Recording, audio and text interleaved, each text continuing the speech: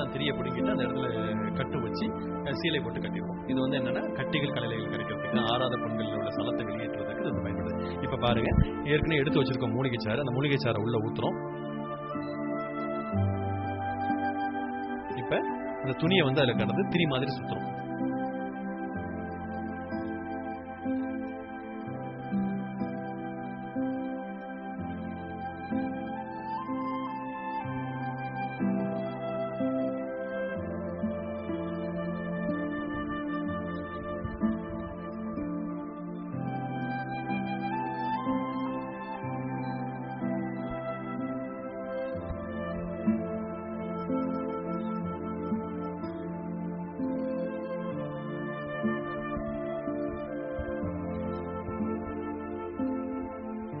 இப்போது நோயாளிங்க அக்கல் பகுதியில் வந்து ஒரு புண்ணு வந்திருக்கு. அந்த புண்ணு உள்ள இடத்துல வந்து இதை நாங்கள் செலுத்த போகிறோம் பாருங்க.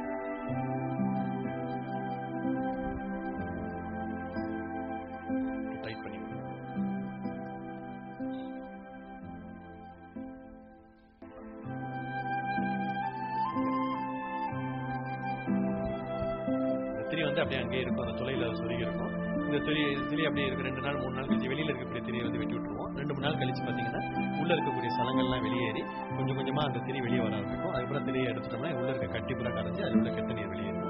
அதுக்கப்புறமா சாதாரண சீலை தண்ணி அதை சுத்தம் பண்ணிடுவோம். குடல் இறக்கம் ரத்த